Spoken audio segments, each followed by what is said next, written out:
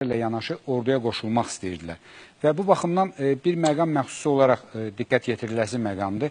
İstərdim ki, Aqil müəllim buna bir münasibət bildirsin. Aqil müəllim, Azərbaycan ordusu ilə Azərbaycan cəmiyyəti arasında olan münasibətlər və Azərbaycan cəmiyyətinin, gənclərinin orduya olan münasibətində bir dəyişiklik varmı?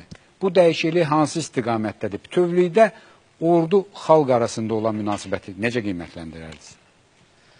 İlk öncə onu qeyd etmək istəyirəm ki, bu günləri Azərbaycan ordusu ilə xalq arasında çox ə, yüksək, müsbət, ə, belə deyək, əlaqələr var. Yəni bu günlər Azərbaycan xalqı öz ordusuna inanır və təbii ki, bu günləri Azərbaycan ordusu əbəs yerə Cənubi Qafqazın ən güclü ordusu deyil. Çünki burada həm bizim dövlətimizin apardığı siyasət nəticəsindədir ki, bu günləri Azərbaycan ordusu inkişaf eləyir.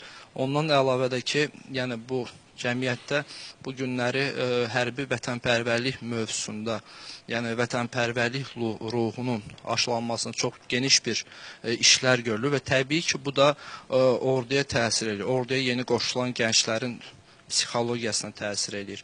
Və mən e, bir şey əlavə etmək istəyirəm. Biz bayaq sual verdiniz ki, Azərbaycan ordusunun, Ermənistan ordusunun arasında fərq nədir ki, mən onu qeyd etmək istəyirəm ki, bizim ordularımızda ən əsas deyərdim ki, ən başlıca ə, amil səbəb, yəni fərqlərində odur ki, bu günləri Azərbaycan əskərinə mən Azərbaycanlıyam, mən türkəm deyəndə o əskərin üzündəki ə, sevinç, o emosiyaları ki, insan görəndə ə, insanda belə deyək, böyük bir ə, onların gözlərində böyük bir sevgini görmək olur və bu o elə bir güclü hissidir ki, dünyanın ə, belə deyək, ən güclü rəssamı belə gəlsə, bu ə, belə deyək, ə, bunu təsvir edə bilməz öz əsərlərində.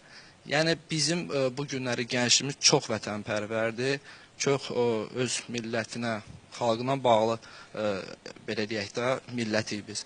Və ordumuz da təbii ki, ildən ilə, yəni bu təbliğat mexanizmi çox güclü işləyir və ildən ilə bizim orduda əskərlərimizin vətənpərvərlik hissləri daha da güclənir və bu da nədən irəli gəlir ki, bu günləri ordu quruculuğu çox yüksək səviyyədə ki, həm psixoloji cəhətdən, həm də ki, belə deyək, ordu quruculuğunun iqtisadi və siyasi cəhətdən aparılan işlər nəticəsindədir ki, ə, bu öz bəhrəsini verir bu gün.